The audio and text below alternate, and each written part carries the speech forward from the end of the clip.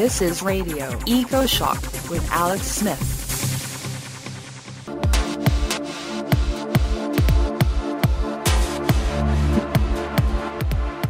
When climate change hits the fragile just in time grocery system, where will your food come from? How long can you eat? You probably have house insurance or renter's insurance and car insurance, so why don't you have food insurance? Our next guest has helped Americans prepare with emergency food stocks for almost 30 years. He's a homesteader, a wise blogger at survivalacres.com and now at foodassets.com. From somewhere in the Pacific Northwest, Jonathan Richards, welcome to Radio EcoShock. Uh, good morning, and thank you, Alex. So, what does it mean to be a prepper? Well, prepping is kind of a way of life of just doing basic essential preparations to make sure that you have some resiliency in your home and for your family. It doesn't require um, a great deal of money or time if you do it wisely and carefully one of the things that I've been involved with is with food preparations and having food set aside for storms, uh, hurricanes, tornadoes, disasters. Anything like that is a pretty smart idea. Americans used to prep and have their food preps on hand for quite a long time, uh, but that kind of changed when we moved to supermarkets in this country. And the supermarket made it so easy and convenient for people to just run down to the store and buy the food that they need. However, when there's been a disaster, the supermarket shelves get wiped out pretty quickly, uh, sometimes in just a matter of hours. So having something on hand is always a good idea, and you can you can do that by stocking up your pantry. Yes, we live in a rural area, and so if we do go to a city at all, we really stock up, and then we joke that our store is in our basement. We go down to the store downstairs and and bring things up from there. But you know, in these times, there are a lot of people in cities who seldom cook. They're relying on fast food and restaurants. And apparently, tens of millions of real Americans could barely afford food, much less stocking up. They're just looking for the next meal for their kids. So, Jonathan, I'm wondering is prepping just for the middle and upper class people? Well, actually, I don't think the middle and upper class are doing much prepping anymore. It's it's almost always been the lower class people that have struggled to pay their bills for some reason, they seem to be a little bit more aware of the need to be prepared. Um, maybe it's because they don't have the money to survive disasters, so they set things aside. Um, they get tuned into the whole issue of being prepared a little more readily than the middle and upper class. And I base that all upon all these decades of being involved in this industry.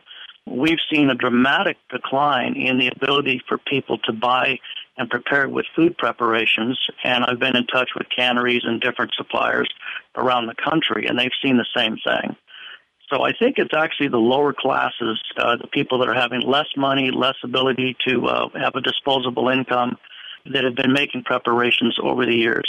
There are some of the upper middle classes that are doing it, but it's nowhere near what some of the hype and propaganda has been you may have seen published.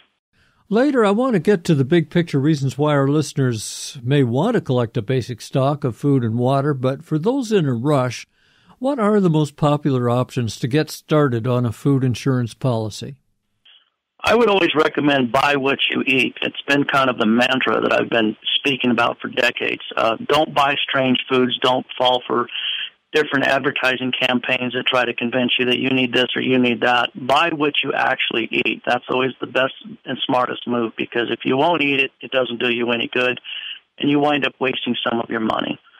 But the other thing is you can buy your staples. Staples come in bulk quantities. They're fairly inexpensive. They last a long time. You can get upwards of 30 years out of some of these staples and you can prepare them relatively easily and they go really far. So um, you can take out just a, a little bit that you need, prepare a meal from it, and store the rest away, even for decades.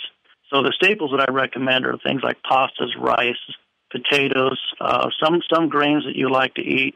My wife and I, we always eat oat groats almost every single day. Um, it's healthy for us, especially at my age, and they're not that expensive to purchase. And we we doll them up, you know, with blueberries and pumpkin seeds and things like that, you know, to make them um, a little bit more delicious. But if you buy your staples and you learn to prepare these foods and use them on a daily basis, then you'll have never wasted any of your money.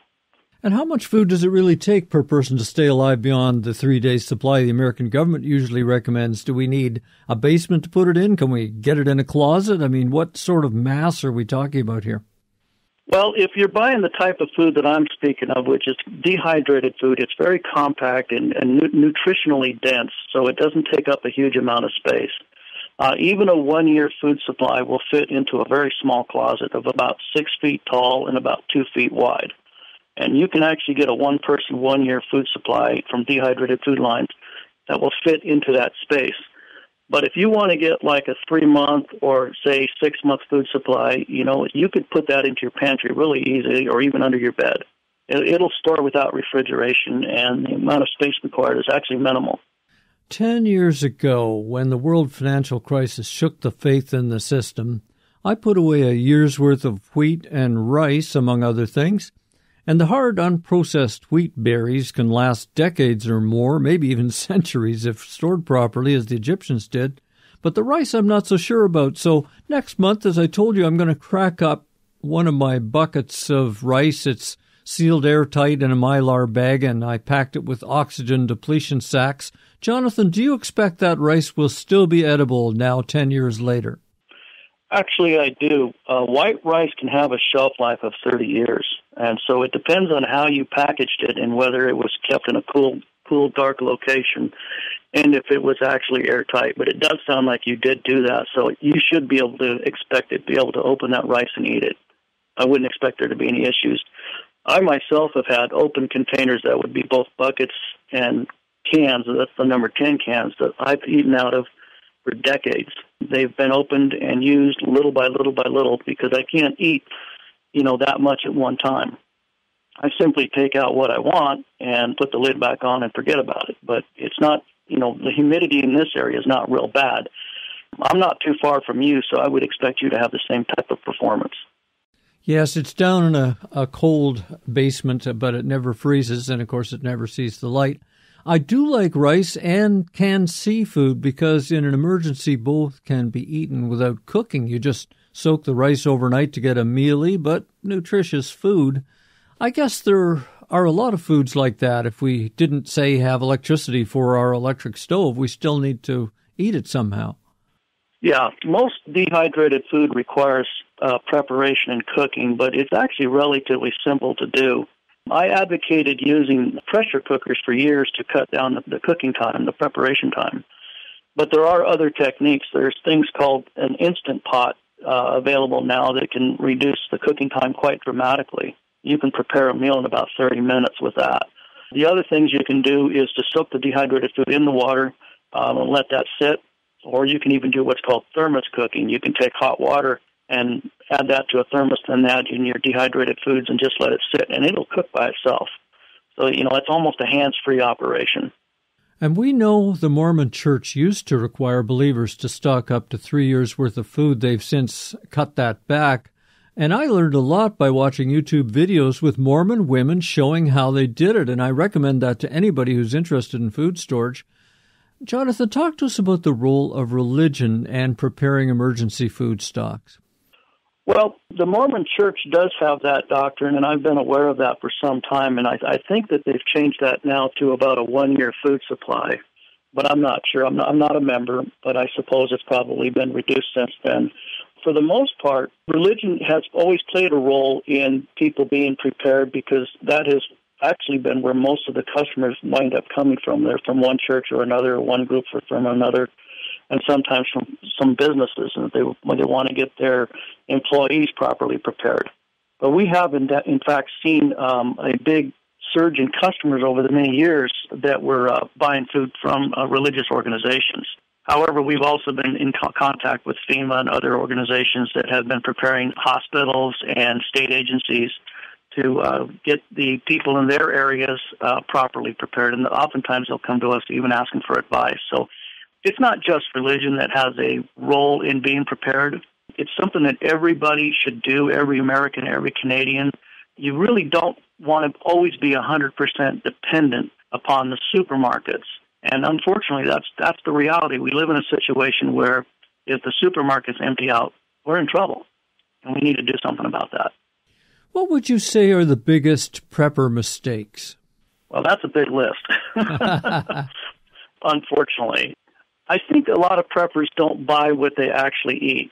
Uh, that's one of the one of the big issues that I think that they run into. They purchase foods that that sound good and they never try them out, so they never get the experience of actually eating that food. They also don't do enough research. If you don't research what you're actually going to be purchasing, and I, and I don't care where you get that from, you may not be getting the nutrition and the calories that you actually require because you know, there's a big difference between a sedentary lifestyle and an active lifestyle. If we really were in a collapse situation or a crisis situation where there was something big and bad that had happened, you know, you're not going to be able to just sit around. You're going to be active in doing things, you know, looking out for yourself, looking out for your family, maybe cleaning up from storm debris, that sort of thing. So you've got to have enough nutrition on hand, and that's probably a big area that people need to really think about. And you have a section on your blog about food scams that people who want to get prepared food should watch out for. Can you tell us about one or two?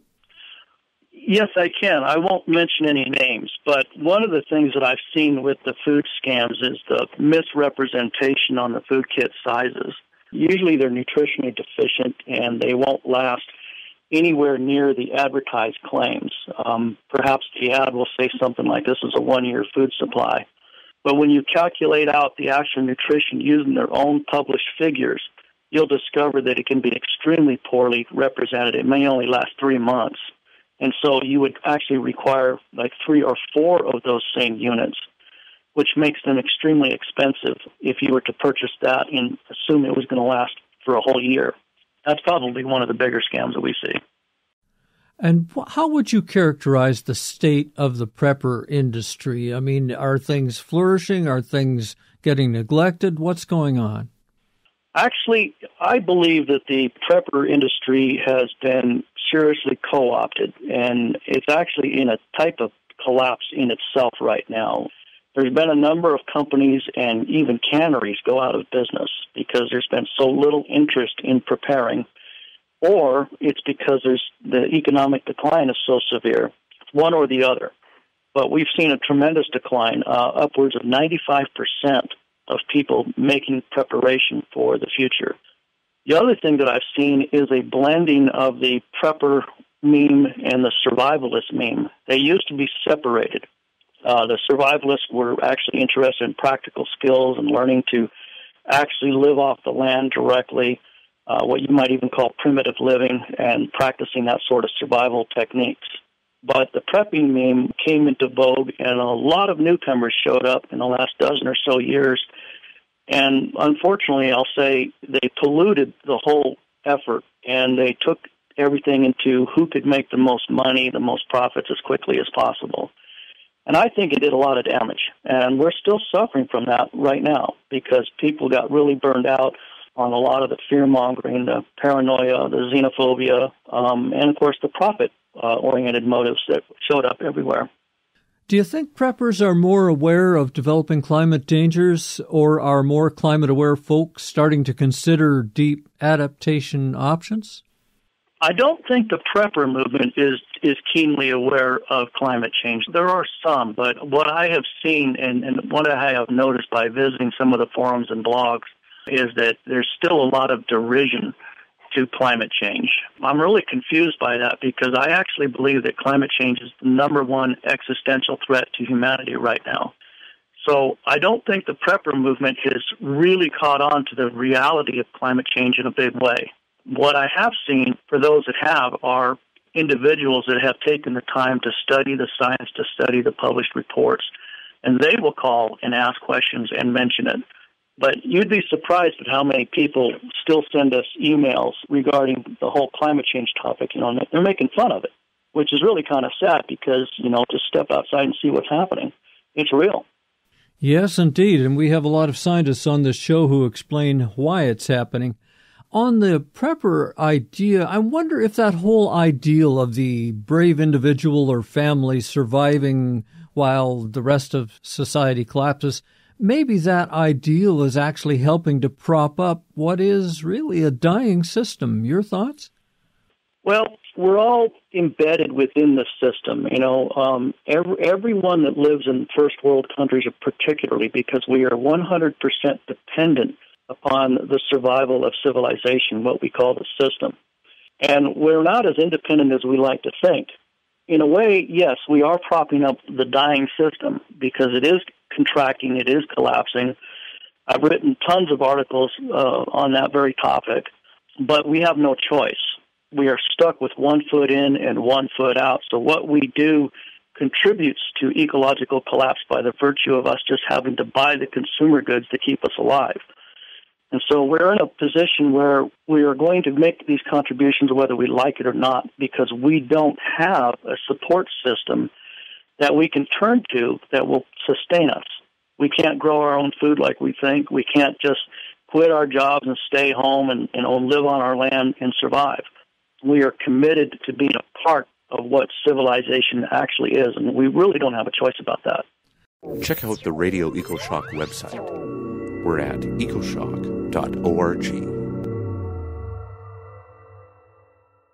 You are listening to the Radio EcoShock Show. I'm your host, Alex Smith. With me on the phone is American blogger and survival food expert Jonathan Richards. We're talking about why we all need food insurance. So, of course, there's another side to the prepper coin. We should be prepared to sit out an emergency in our homes and local communities, but as you know and I know, we should also be prepared to get out quick with a few necessary supplies. Living in the Northwest, we know how fast a wildfire can come over the horizon. How do we prepare to leave?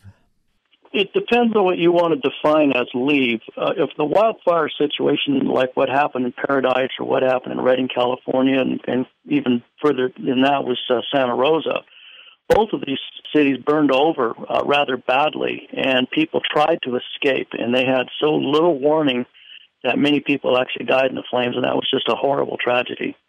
So leaving when you have a threat like that is definitely going to be important. You need to be prepared with both your car and your emergency supplies on hand and ready to go, but you also need some place to go to.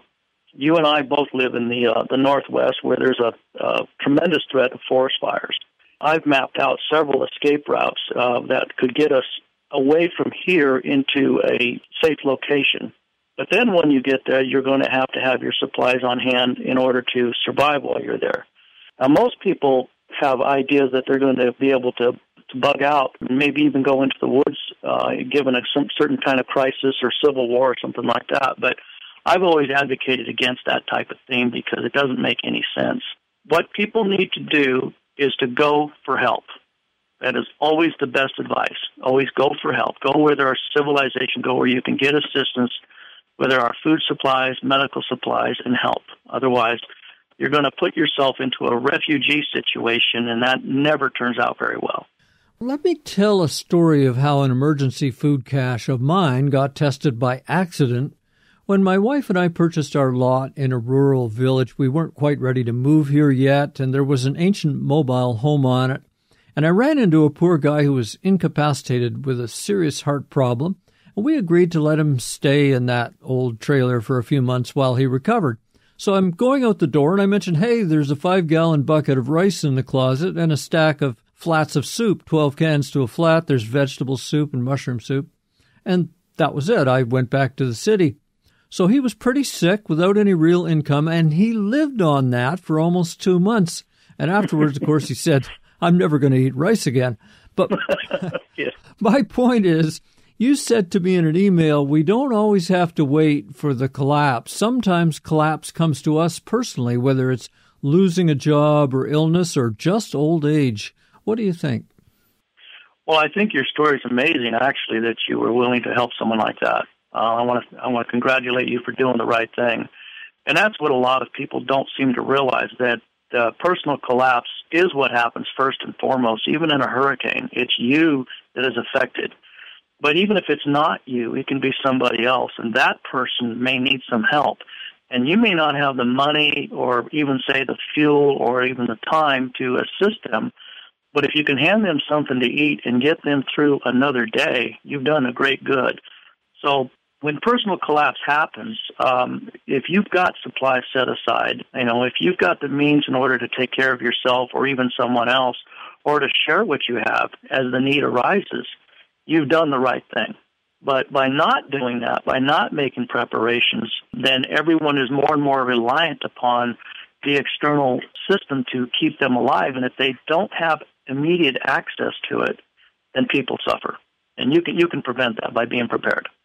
Right. It amazes me that some people who are very worried about authoritarian government, whether they're on the left or the right, you know, libertarian, whatever, don't think about their total dependence for the next day's meals on that same system. And so I think part of freedom is to be able to grow at least some of your own food and to store some of your food so that you're not totally connected to every authoritarian move that comes along.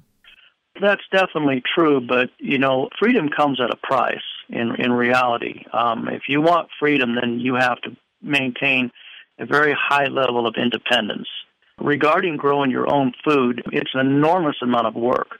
I built a commercial greenhouse in a large garden space here with automatic watering systems, and I swiftly discovered just how difficult it really was, um, especially up here with our short growing season to grow sufficient numbers of, of calories. What ends up happening is I have a I have a short growing season despite having the, the greenhouse. I get this huge harvest that I have to immediately process as fast as I possibly can. And either I, I can it, I pickle it, I dry it, I do something with it, and I eat a lot of it. But the reality is, I cannot grow all my own food. It, I can't even get close to it. I'm not even growing 25% of it. Not, not in reality. I know what you're talking about. I tried to do the same thing in almost northern Ontario back in the 80s, and we did have 40 acres cleared. I had a tractor. I tried really hard, but there was no way that we were growing more than, well, like you say, about 25% of our food. So it's it's difficult even when you're young and able and harder as you get older. And I think to a degree there is a new topic that's going to come up as the boomers age, and that is almost uh, prepping for age. I mean, it, it's very much like a system collapse as your body starts to be able to do less. You have less energy, maybe you have less brain power to cope with things. And so I'm wondering if there's a way that we can prepare for that. Well, you can and you can't, unfortunately, because um, as you have reduced capabilities as you age, and that's just a fact of life, you become more and more dependent upon uh, facility and services and assistance uh, what you can do is make make preparations for for the basics and the essentials. You know, which is the same thing you would do if you were younger. But being in a community where you can have help is going to be of the utmost importance. Uh, making sure that you're always going to have access to critical supplies like water and heat. Up here in the Northwest, our winters can be pretty brutal. The summers are not real bad if you can get a little bit of shade during the hottest part of the year. But uh, in the wintertime, without heat, you will freeze to death. So you want to make sure that you have access to those essentials no matter what age you really are. But as a senior citizen, it's something that I've been thinking about as I'm I'm slowly approaching um I'm in middle age right now, but I'm slowly approaching that senior citizen timeline. And um I'm going to reduce my footprint so I have less to maintain, less to take care of, and I'm going to surround myself by family members that can also keep an eye out for me.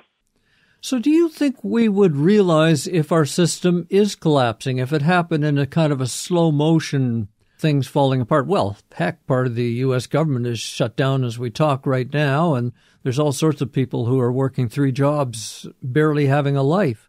But would we know if it's really collapsing? It's collapsing right now. It's it's in contraction right now. We're geared to see opportunity, but not systemic problems. And there's been a number of uh, studies that have pointed this out. So, you know, we are not in a uh, suitable mindset as humans to understand how collapse actually works. Um, we have a lot of cognitive dissonance that takes place within us in regards to uh, the things that we believe and the things that are actually true. We have systemic risk, we've got geographical risk, we've got vector risk, density risk. These are factors that are occurring right now by the way that we designed and built civilization and how it's currently collapsing. Economically speaking, as you say, you know, there's a lot of homeless people. There's a lot of people that are really suffering. They're having to work multiple jobs. That's collapse. That's collapse right there on that front alone. If you followed my blog at all, I spend a, a great deal of time documenting the climate collapse issues that are happening all over the world. Um, that's in, indeed happening, and it's going to accelerate faster and faster. Yeah, like the extreme hitting Australia right now, that just blew my mind because they've had very hot years already and now setting new records. I just almost don't know what to think about what's going on there. It's unbelievable. Um, I used to have contact with some Australians uh, regarding uh, what they could do to be prepared, and I, I did definitely warn them about the issue of heat and extreme brush fires. I can't even imagine how they could survive in a situation like that if the grid goes down. That's going to be almost catastrophic for some of those people. Well, mind you, that's true of the whole American South. I mean, uh, we interviewed an author about six years ago who uh, wrote about the reason that the whole movement to the Sun Belt at that time worked was due to air conditioning and take away air conditioning, and the, there would be another movement back north again. There will be. Climate change poses an existential threat to humanity. I have written several critical articles on this topic, and the entire Southwest uh, poses to be uninhabitable um, as things continue to warm up. And of course, if the grid were to go down, uh, that would make things that much worse that much quicker. But the real issue is going to be water supplies and wet bulb temperatures. Uh, water supplies are declining in aquifers all over the country right now. Um, I'm not sure what's happening up in Canada with the water supply, but you you you might be okay for a time. But here in the Southwest, we have a water issue. They're constantly fighting over the Colorado River and who's going to get what allotments. And now they're being told that some farmers aren't going to get anything at all. I don't know how long that's going to last. It all has to do with rainfall and snowpack, but that's been in massive decline uh, year after year. So the issue for large segments of, of the lower uh, southern United States is going to be where are they going to go? And on top of that, we have uh, accelerated melt at Greenland, Antarctica, and in the Arctic. We're going to see sea level rise that is going to inundate the coastlines and flood out many cities all over the world. Uh, this is going to create a gigantic refugee problem. We haven't seen anything yet. It's just going to get significantly worse. Where do people find your past blog entries? Well, it's survivalacres.com forward slash blog. And uh, on the right side of the of the blog, there is a, um, a navigation menu uh, for some of the current articles.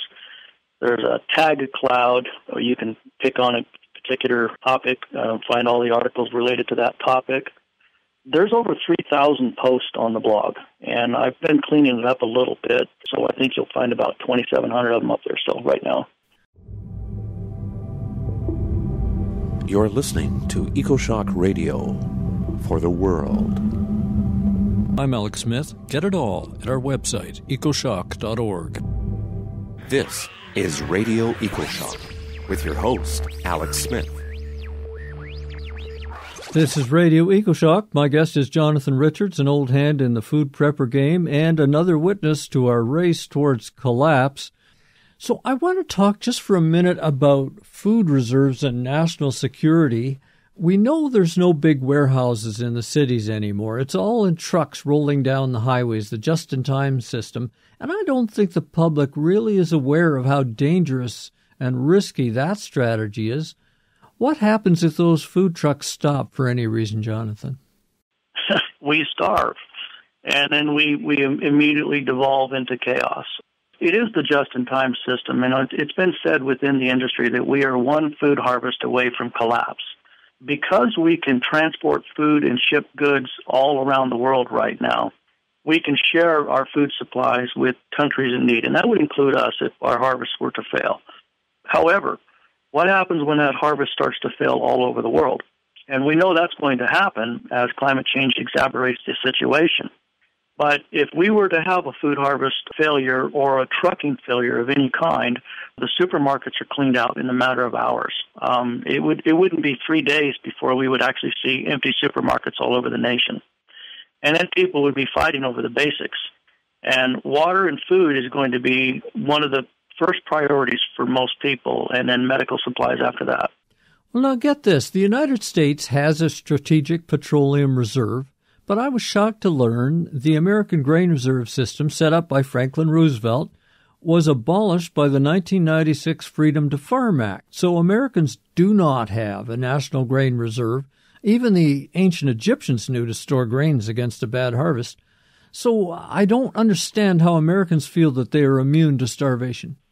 I think it has to do with our way of life, you know, the that so-called non-negotiable way of life. You know, we we live a very privileged life in this country because we have easy access to pretty much anything that we might want. If you can pay for it, you can have it. And we've got convenience stores and supermarkets almost on every corner. So food has never been the priority that it once was. But back during the Great Depression, people quickly realized, you know, that having food was a very serious issue. Nowadays, people are accustomed to going to the supermarket and buying whatever they need, uh, or even going out and, like you mentioned earlier, you know, they don't even cook anymore. This sets up an incredible dependency that if there's any failure in the system to provide food to people within cities, villages, and towns all over this country, all over Canada, all throughout the world, what are they going to do? And this is why having food on hand is just a smart idea. You can stay home, you can stay out of the chaos, you can stay out of the rioting, you can stay out of the, the conflicts that, that could occur when people start fighting over basic essentials like food or even water.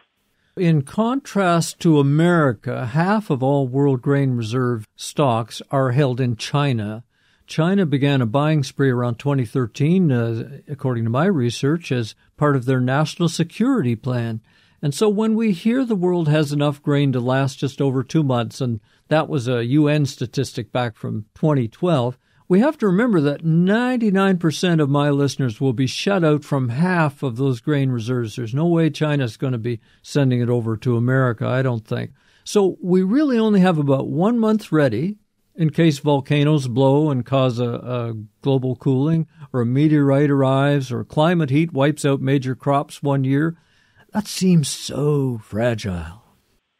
It is. Uh, we, are very short sighted when it comes to personal preparedness and uh, existential threats like this. Increasing complexity has all kinds of vulnerabilities and trigger points, and the civilization that we have built is incredibly complex. It is very dependent upon the supply of everything from, you know, fuel for the trucks farmers harvesting and uh, distributing their goods just in time to supermarkets being able to make that stuff available for human consumption. But it extends far beyond just our food systems. It's everything within our society now has become incredibly interlinked and interdependent. And that is nice for a modern way of life, but it does increase the possibility of something going wrong. I miss Lester Brown. He was the founder of the Worldwatch Institute and then he founded Earth Policy Institute. At age 85, he retired a couple of years ago. He used to make phone calls available for reporters, and I tuned into them on how much grain we have and what we can expect in the coming harvest, what the problems were. Now it's almost impossible to find out how near the edge we are. China keeps its big grain reserves secret. The other big grain trader, like Cargill, it's a very private multinational corporation. Those deals for grains are done in secret. We know how much carbon is in the atmosphere, but it's a big secret how much food we have left. That is just insane to me. I think food might become the new currency of the future. Um, I've always advocated that food was much more important than things like gold or silver because you have to take your gold and silver and exchange it, usually for dollars and then in turn go buy the things that you might need, whether it be fuel for your car or, or something at the supermarket. You can't take gold and silver into a bank and convert it into cash. You can't take it to a supermarket. You can't take it to a gas station and convert it into the things that you need. So if food supplies become critical anywhere in the world, food will become the new currency, a means of exchange because we've got 7.7 billion people on this planet and as you know, they, they've projected that it's going to go to 9 and then 10 and then 11. Well, under climate change, nutritional content of food declines. It doesn't improve. And we've already maximized all of our available growing lands and techniques and methodologies. They are attempting to make more drought resistant crops. But with increased temperatures, we're going to see a nu- nutritional decline and crop failures. That that's pretty much a given.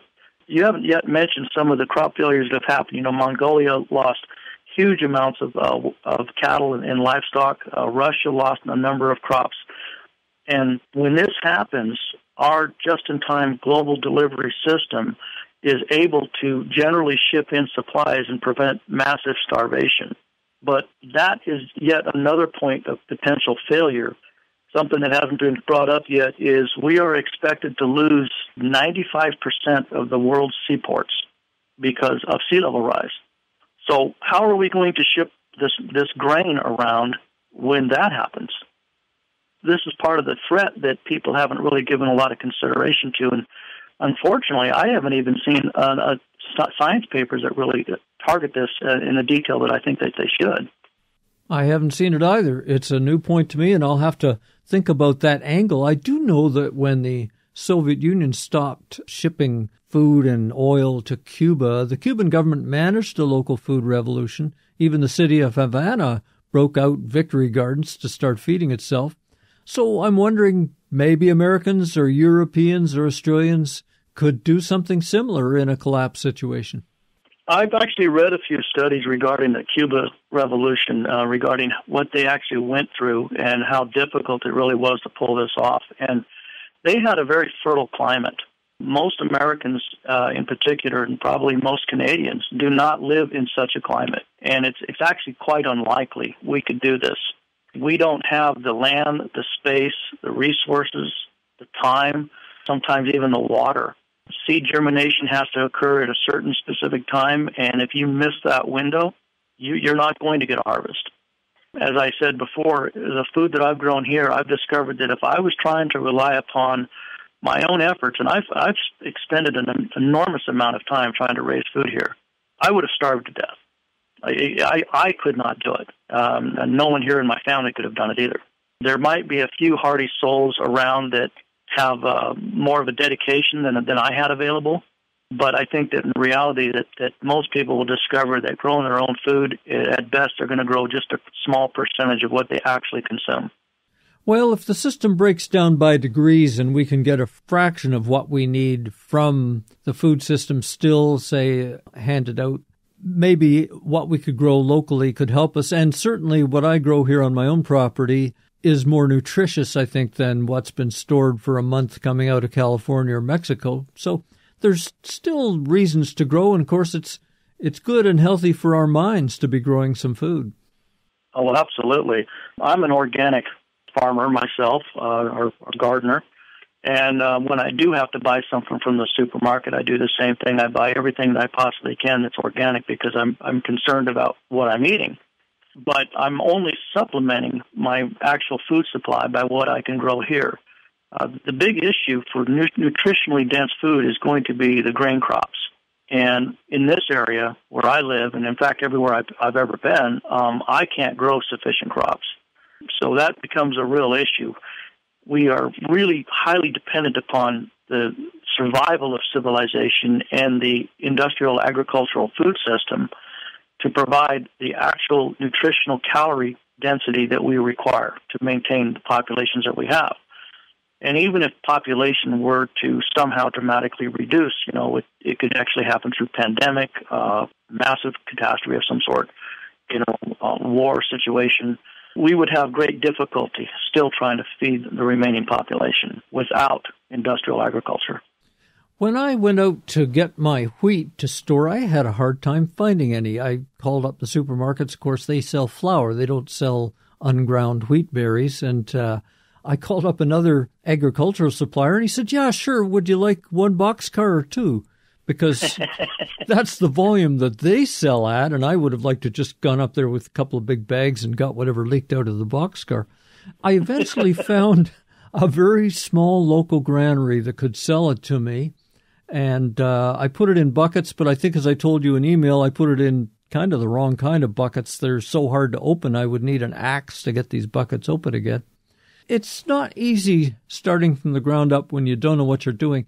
Are there particular books or other resources you could recommend for people to get started to educate themselves on this subject? Well, you know, years ago I used to read read a bunch of those books, and I've got a bunch of them in my library. But for personal preparations, there's a number of, of websites uh, that you would have to find for yourself. I don't have any I can recommend off the top of my head. Mm-hmm. Uh, sorry about that. But practical preparations is, is actually not that hard. It's not really much different than buying what you are already buying at the supermarket, except that you're focused more on foods that have a long shelf life and foods that have been properly packaged. There is a Hollywood myth that I'll cover right here that indicates that, you know, the survivors of the apocalypse are going to be consuming food out of abandoned supermarkets, you know, decades later. And that, that is complete baloney. Most of those foods will have rotted or spoiled. There is a good website called stilltasty.com that will tell you what the shelf life of supermarket food is. And it's two to five years. After that, um, it's either spoiled or unfit to eat, or you're definitely at some kind of a risk uh, from either nutritional decline or even really in worst case scenario botulism. So most of the food in the supermarkets would have completely disintegrated or, or gone moldy or gone bad. Um, even the canned food, it doesn't last as long as people seem to think.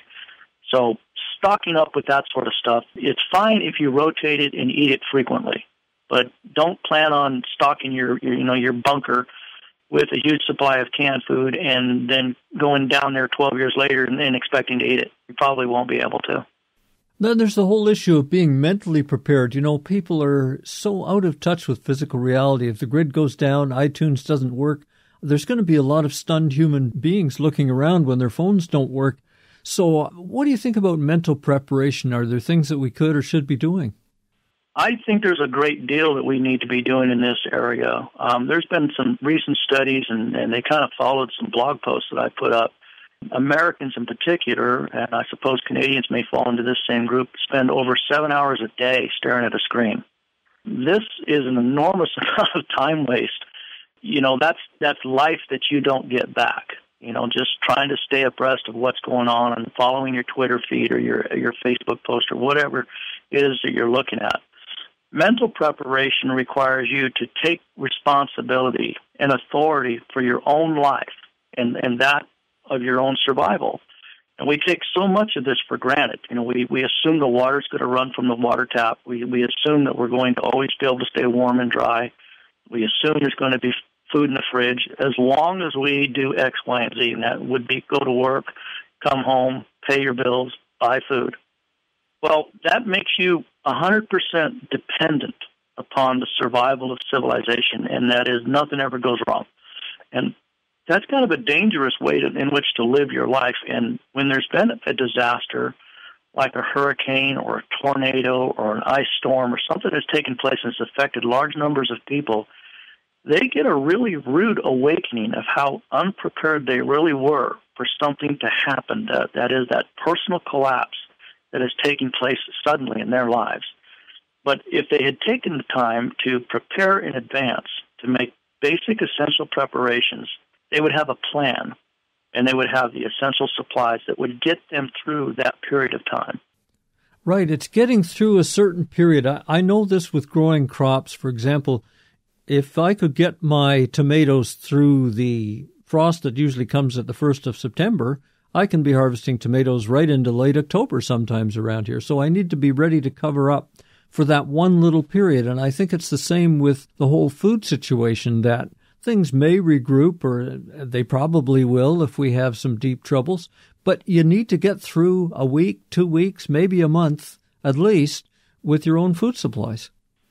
Yes. The biggest issue is nobody knows how long their individual personal collapse is going to take place you could lose a job and then be out of work literally for several years. And that actually happened to me. And, and I was able to get through it without any trouble because I had a, a fairly large food supply.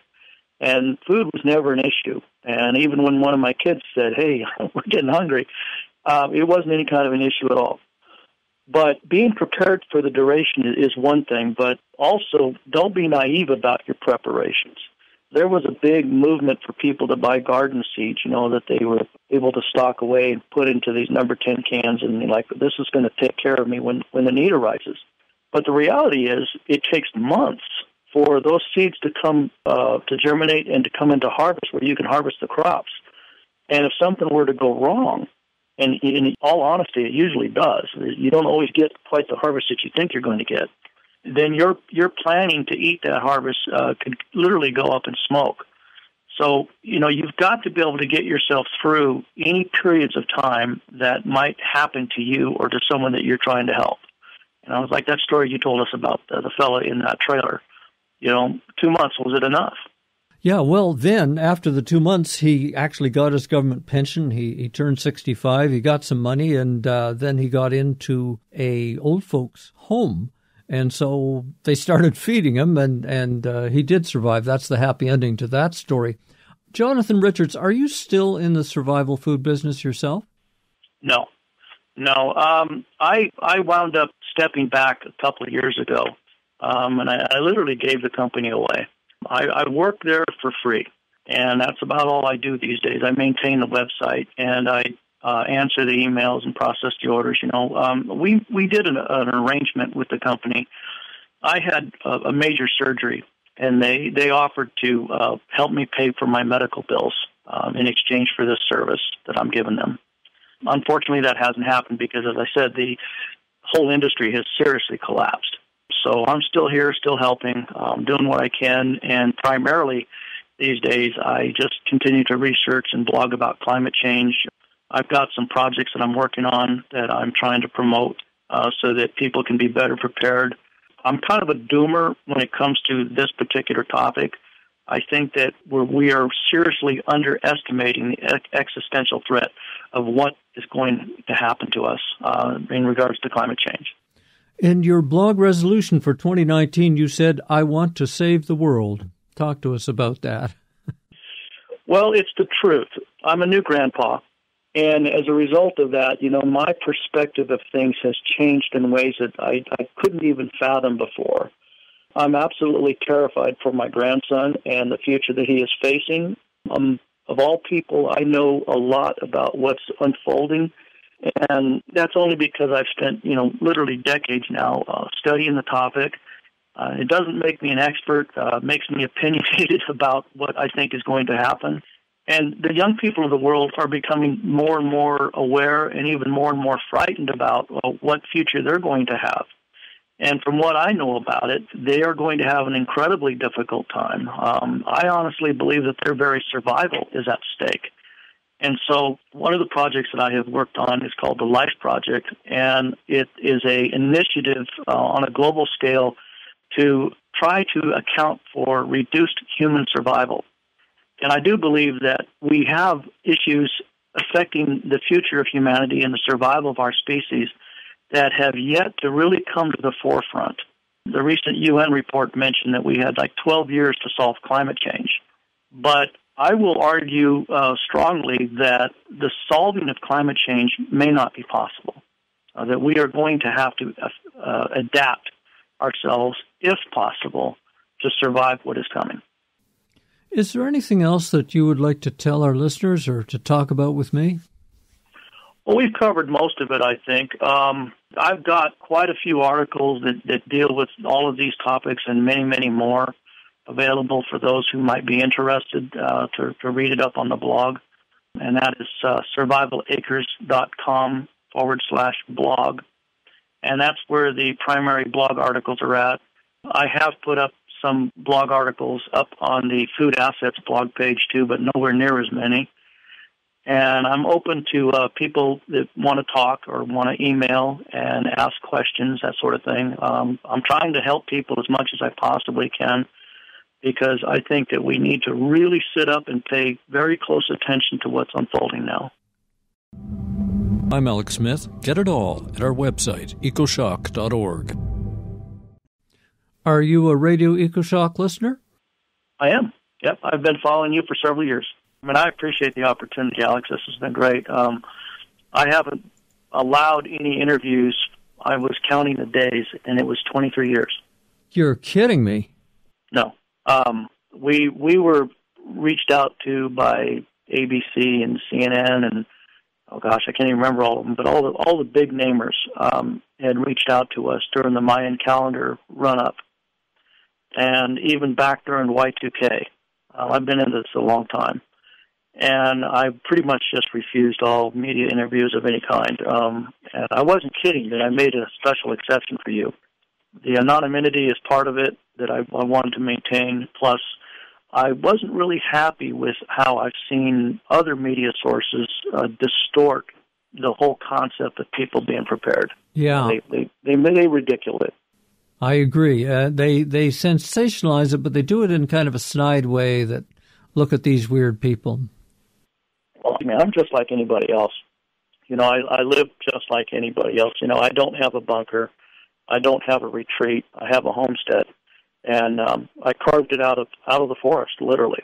And then I put in a road, and I built a house, and did the greenhouse, and the cistern, and the garden, and everything else, and all in the root cellar. And that doesn't make me strange, but as time went on, I, I got away from the whole prepping meme and really started focusing on the whole climate change as the existential risk. And this is why the blog has so much on that topic because I think it is the number one issue facing humanity now. Yes, we can get through we can get through almost everything else, but not this. But I I don't believe that that governmental leaders are are going to act decisively. I don't think they're going to do it. They're not going to be allowed to do it. I think that we are more or less going to wind up being on our own. And so uh, ultimately, I'm not looking for what you might call governmental leadership. Um, I think it's going to become a private effort for how are humans going to survive what's coming. But we have to fast forward years into the future. You know, right now we can go outside, we can breathe the air, we can stand in the sunshine. We're not dying from the heat. We're not starving to death. But fast forward years into the future when wet bulb temperatures are so darn hot that all the plants start dying. Then what? You know, that's the future that the grandkids uh, and their kids, if there are any, are going to be facing. And this terrifies me. I don't know if this happened to you, but my grandson is just over a year old.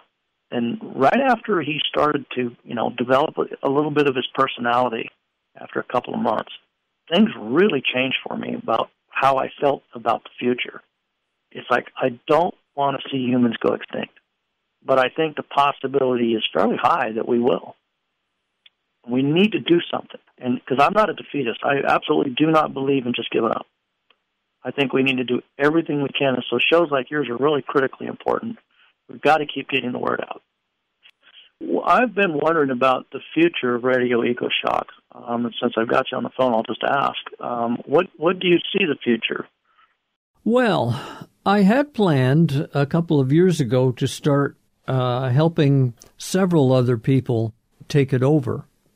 So I had my eyes out for other uh, broadcasters who are younger, and uh, I've talked to a couple of them actually about this.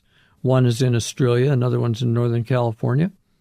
But the problem that's arose is a weird one because I've been doing this for 13 years and I've talked to so many scientists. I've actually kind of developed an education in climate science. And that's hard to replace. I haven't found somebody yet who can do that. But I think that will be the future is that I'll start doing maybe one interview a show and somebody else will do the other one. And then I'll do one interview every now and then and somebody else or a group of somebody else's will take it over. Because I don't want to just let that chain of 100 stations drop out or this whole idea of, of, of climate education drop out. I've closed my blog a couple of times, mostly because I've gone broke and I've been frustrated. But then I realized, again, you know, I have to keep trying, and that's going to be my unasked for advice to you. Even though you may have just a hundred and uh, a small uh, listening audience, uh, don't think things can't just suddenly turn around because they definitely could. You know, um, it, it's going to take one media outlet, one major media outlet, to make mention of something like Radio EcoShock or, or a specific program or just something like that to get it out into the hands of millions and then boom, people will start asking you to, you know, can we cover your show? It could be. I think the other possibility, what I really expect, is that I'll be totally co opted by larger media when enough people become aware of climate change that they want more information, and it'll become part of the nightly weather forecast, and there'll be more news stories on it, and uh, you know that sort of thing. And and I've I've got a completely different take on what needs to be done I know I'm. If you've read the blog, I, I definitely believe that we need to downsize immediately. You know, we need to do a lot less, not more. Uh, we need to abandon a lot of the things that have created climate change, and I mean yesterday. But I also realize that we won't do it. It's it's probably never going to happen. Well, it may happen. Some, I mean, the French Revolution did happen. Nobody expected it, and uh, the Industrial Revolution happened, and nobody expected that. So it's possible there will be a large motion in human affairs. But as you say, the science is pretty clear that we've left it far too long, and so we are going to be hammered by climate disruption. But that doesn't mean that we won't uh, regroup a few times.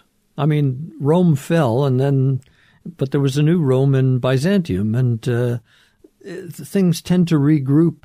So I'm thinking that humans may survive, although I'm just now reading more and more about 95% of the insects in uh, Central American rainforests are gone when people go back to measure them. Uh, the same in German nature preserves, the insects are gone. So um, there may be things happening at lower levels, even at the bacterial level, that that we're really not aware of that uh, will come around and bite us as well as climate change. I've been thinking about, you know, for the planet to lose this much ice, for example, you know, the the energy imbalance that has taken place. You know, and I'm not a scientist. I don't try to come off as one. But it's kind of human hubris to assume that we're going to somehow find a way to restore that energy imbalance. You know, it, this has been set in motions for uh, hundreds of years now. This isn't something that happened in the 1970s or the 1940s. You know, this has been going on a long time. Uh, ever since we started, you know, changing the chemical composition of the atmosphere and causing, you know, all of this energy imbalance that's taking place. And we're never going to get that ice back, ever. As, as far as humans are concerned, it's never going to happen. I mean, we would have to be looking forward, you know, to a 100,000 years or so climate stabilization won't happen for quite a long time. But our ability to survive here uh, under these increasingly dangerous conditions for human survival, um, it's the wet bulb temperature that's going to get us, and not from heat stroke, from starvation. We are going to lose our food supply first. We have been talking with Jonathan Richards. His Survival Acres blog has been influential for me.